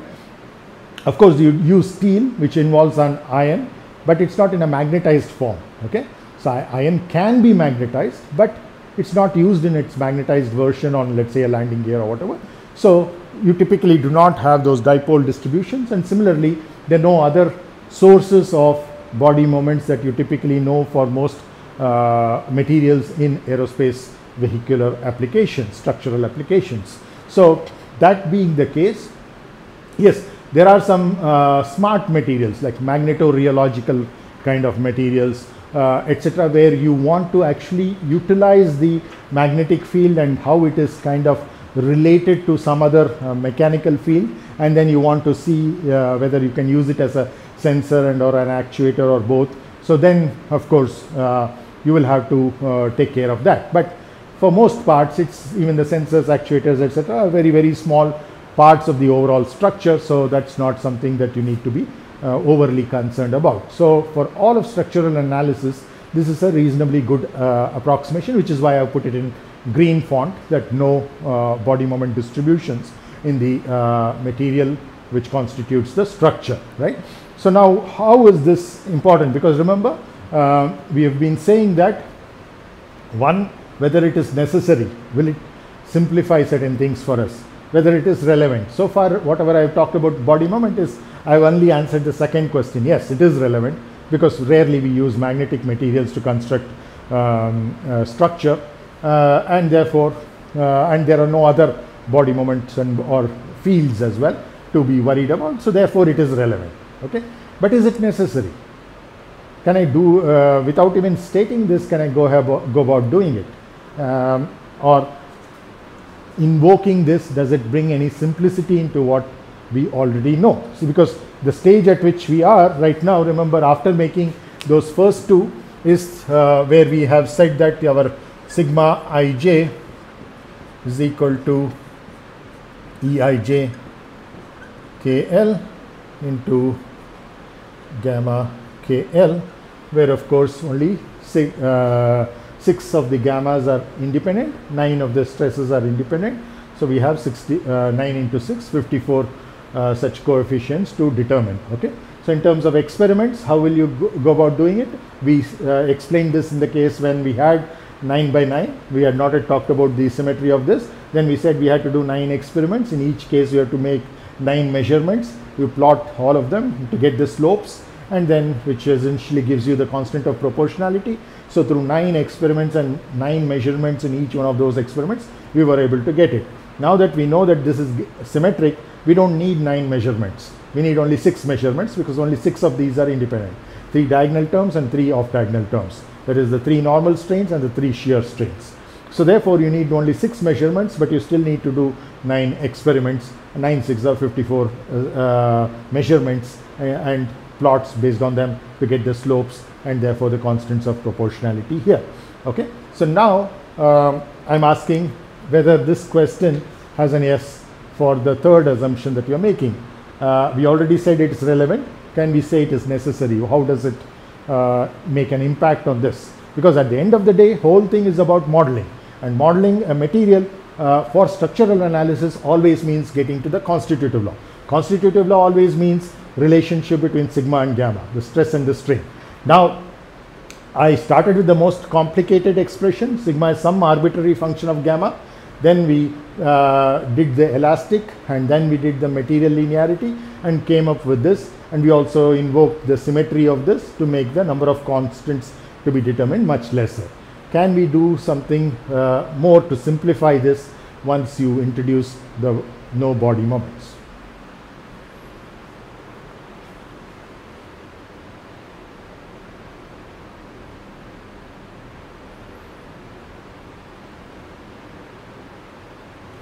the idea is we got down from 81 to 54 here. Can we get down even further? And the hint is this particular thing helps you do that. And therefore you since you're going to get to a simpler model by invoking this assumption therefore the answer to this question is yes. But how does it simplify? How does it bring this down? Already we brought it down from 81 to 54 how can we bring it down? And in fact it brings down to the number that you already mentioned of is 36 so it is this assumption which brings down from 54 to 36 so i want uh, to you to think aloud and see how it brings down to 36 how did it go from 81 to uh, 54 because of the symmetry of this right? Similarly, the stresses. Uh, yeah absolutely yeah. Removing a dimension. removing a dimension. Yeah uh, by which what do you mean uh, in terms of the equation? Exactly what do you mean removing a dimension. Sure. So, uh, see, removing a dimension is essentially you're trying to do what is known as a dimensional reduction, Right. right? So, dimensional reduction is when you're going from a 3D model to a 2D model or a 1D model. That's all about the uh, geometry, but now we are focused on the material. Okay, so there's nothing to do with geometry here. Of course, it can do- with the geometry of the microstructure of the material and all that, which is uh, in the parlam of the uh, material scientists. We are not getting there, right?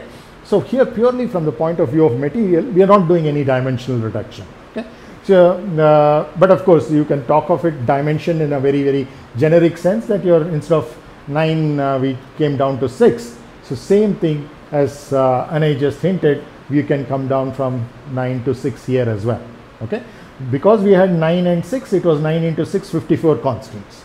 Now we have, if we can uh, bring this down to 6 as well, then we have 6 into 6, 36.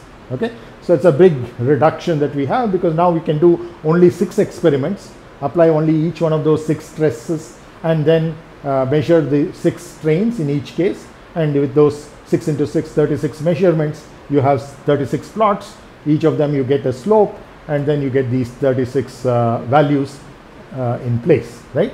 Now, we already know these two can be interchanged. If I interchange K and L, it doesn't make a difference because by definition, strains are symmetric. So that same thing holds good here also, which is why because the K's and L's can be interchanged, that's why this came down to just 54, right? Now the question is, can I make the same thing over here? So it's a question so that these two can be interchangeable as well, in which case we get down to 36 as you just pointed out, right? So now uh, the answer is yes. The no body moment is what leads you to the question of symmetry of the stresses, but very, very few, or at least I have not seen any book or any uh, people talking about this particular fact that you have to, uh, if you have to uh, go to the symmetry of this, then you have to, just like people say by definition gamma KL is symmetric, most people will just say by definition your sigma ij is symmetric. No, it's not. Okay, because the uh, way that sigma ij equal to sigma ji is derived, that is the symmetry relationship.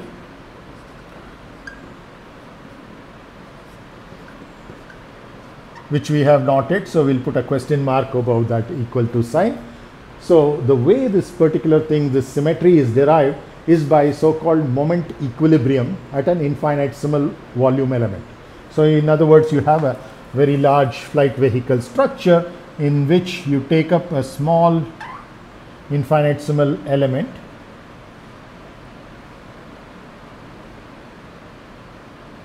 okay and now you introduce the coordinate system. Let's say x1 x2 and oops. X1 x2 x3 right? This one.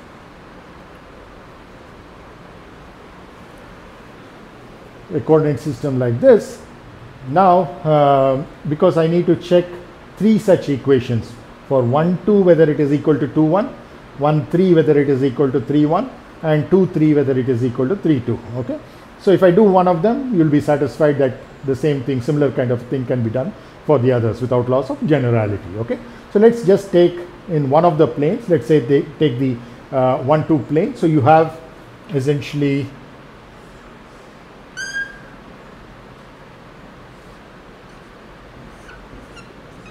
x1 here and x2 over here right?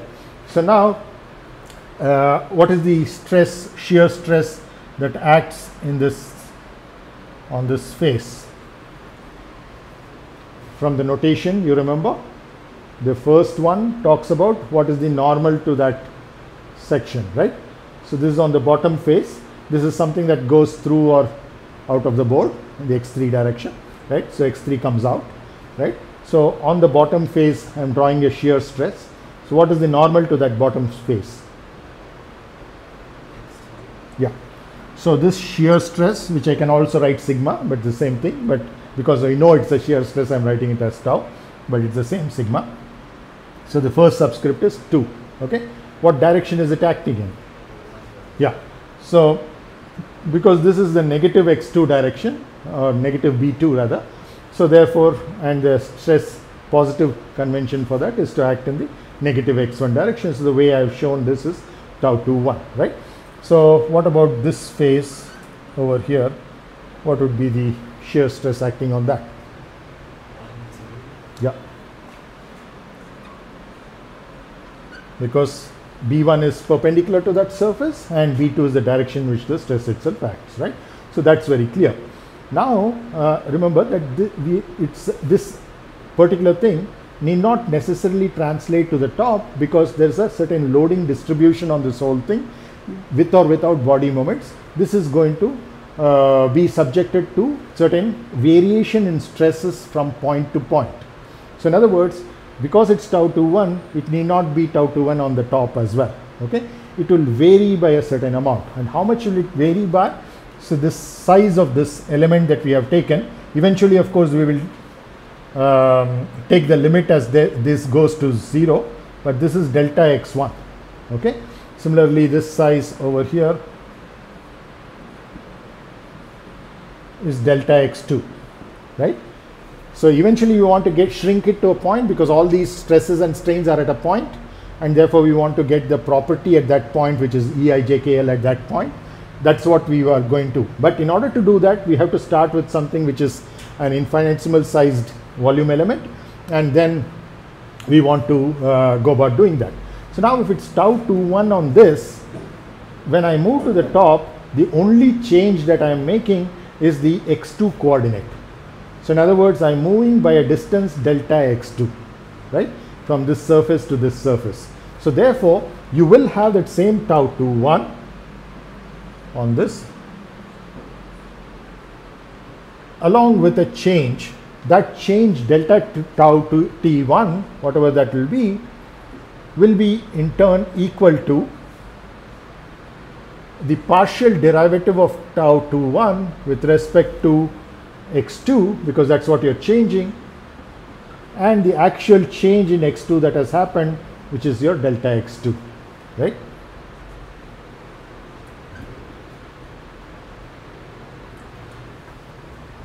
so that's what you have there. Similarly if you go from this to this only thing you're changing is a changing x1 by an amount delta x1 right? So you will have the stress tau 1 2 as it is. That is the major part. Then you will have a small change delta tau 1 2 and that change will be given by how tau 1 2 itself changes with respect to x1 because that's what is changing from this uh, phase to this phase multiply by how much x1 changes. It changes by an amount delta x1 so you multiply that by delta x1 right? So now we see that we have the values for the stresses on all the four surfaces there. Now i'm in a position to take the moment about any point. Now which point do you think uh, if I take the moment about will result in the simplest equations. Because I, I can call this names A this corner A B C and D. Okay? Truly speaking they are edges because it's a cuboidal volume that I'm having. Delta x1 delta x2 is what I've shown but into or out of the board I have delta x3 as well right? So now it's on those surfaces about which corner edge that we are talking of which edge if I take edge A, edge B, edge C or edge D I have to take the moment in order to get the simplest set of equations.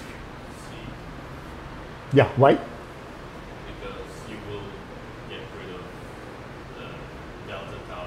Exactly, exactly. So the more complex expressions for tau are on these two phases and if I choose a point through which those stresses are passing then it will not have a moment because the moment arm will be zero and therefore uh, I need to deal with only the other two stresses okay. So now I need to deal with only these two stresses if I want to take the moment. Uh, and the moment that I am setting remember uh, in a 3D problem like this there are three components or three measure numbers to the moment which is m1 m2 m3 the, what which m are we talking about here? Which moment are we interested in here? M1 m1 will be about the x1 direction m3 right?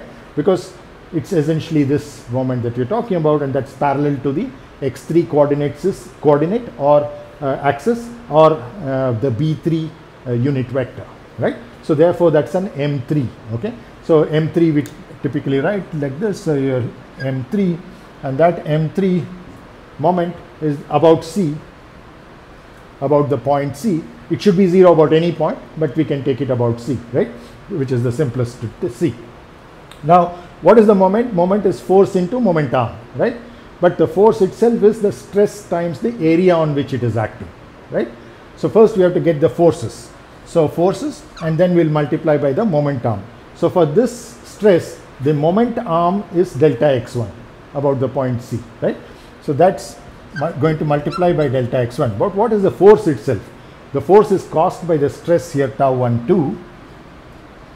And what is the area on which it acts? Delta x2. But that's just a length measure, right? Remember that you have in the x3 direction also, you have the uh, body, it's a cuboidal element. Okay, so it's, it's a delta x3 which is perpendicular to the board, right? So that you have you have delta x3. So in other words, you have all these quantities 1, 2, and 3, right? So that's what you have from that. Now you have to see the sign whether it is positive or negative, okay? And if it's along the positive b3 or the positive x3 coordinate, then it is to get to that you have b1 along this, b2 along this, b1 cross b2 should give you a b3 which is coming out of the board, right? So that's the positive direction of the uh, b3 axis, uh, x3 axis, as well as your moment m3, right? So if that is the positive moment, what about this tau 1 2? Is it causing a positive or a negative moment? About C, positive, right? So I leave it as it is, right? Now coming to this guy over here, is it positive or negative? It's going into the board, right? So it's negative. Once again, I have to put the force in the bracket and the moment arm. What is the moment arm for tau 21 about C? Yeah, so that's the distance from the line of action to that perpendicular distance. So that's your delta x2, right? Yeah, what about the stress itself? It's tau 21. What is the area on which it acts? Correct. Okay, so this is good enough if you didn't uh, have any body moments like what we are assuming. But in general, there can be a body moment, right? So body moment, just like you said, body force, it's distributed within this. Okay, so I can call it by some. Uh, the positive direction is this. So let's say small m3. Okay, which is the moment per unit volume. Okay, so the SI unit for uh, moments is Newton meter, right? Because force is in newtons and the Newton multiplied by distance is the uh, moment. But this is per unit volume, which means because it's a distributed moment, just like distributed forces are Newton per meter if it's distributed along a length, Newton per meter squared if it's distributed along the area, Newton per meter cube if it's distributed along a body, just like your body weight is distributed in Newton per meter cube, right? So similarly, you have a moment distributed over a volume. So that's essentially you're talking about that M3. Now, that M3 will also contribute to your moment equilibrium as a whole, right? Oh, did I put it wrong? Sorry.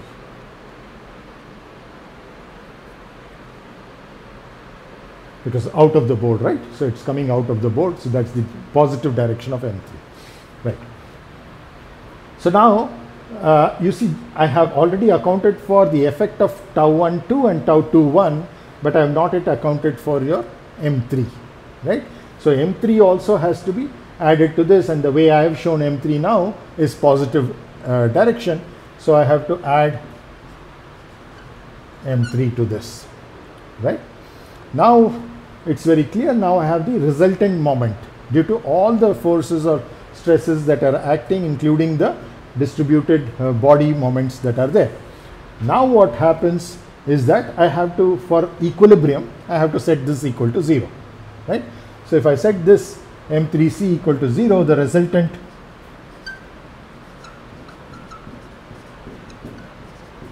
moment about c okay parallel to the x3 direction of course uh, because you have m1 m2 also in general right? So now when you see these two now if you invoke that particular assumption that there is no body moment then your m3 will equal to be equal to 0 but if you don't then you will see that what you actually have over here is that sorry this should be a moment. So this should be this is remember the moment per unit volume okay? So what is the total volume of this we have to take that into account yeah total volume of this element is delta x1, delta x2, delta x3, right? So I have to multiply by that.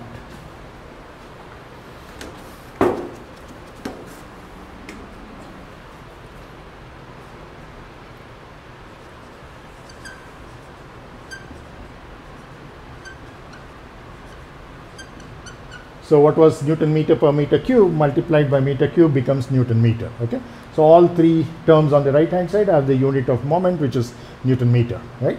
So now you have this and now if you see in these expressions there are all three x1, x2, x3 similarly x1, x2, x3 here as well and this is what you have uh, on this as well. So now if you set this equal to 0 uh, then you see that you can divide the whole thing by delta x1, delta x2, delta x3 and you end up with tau 1 2 minus tau 2 1 plus m3 equal to 0 right?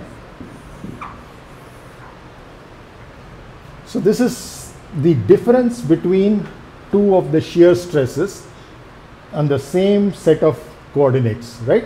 So 1 2 and 2 1 you're just only interchanging them. But the M3 plays a role in how whether they are equal or not. So once we introduce that because it's our material is no longer having any uh, thing like a dipole distribution etc in fact doesn't have any um, body moment distribution. Therefore that is equal to 0 then only you can say tau 1 2 equal to tau 2 1 okay?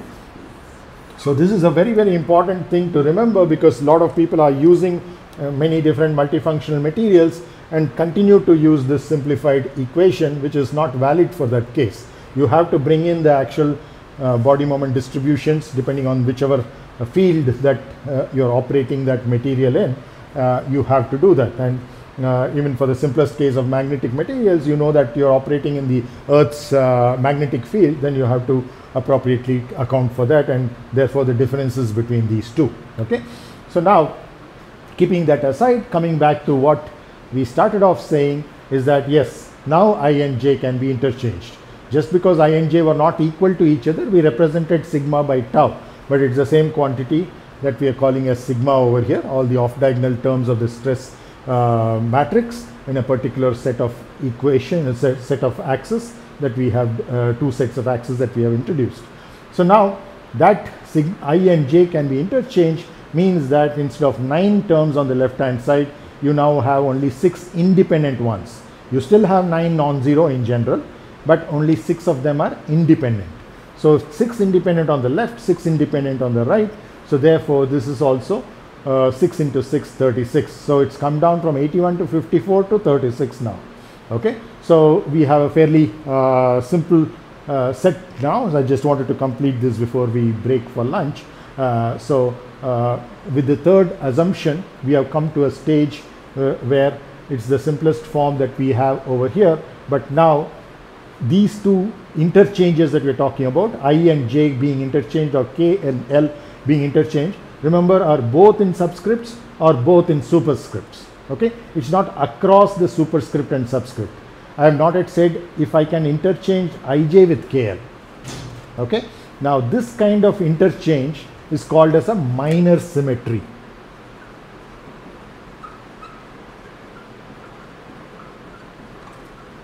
This is also minor symmetry.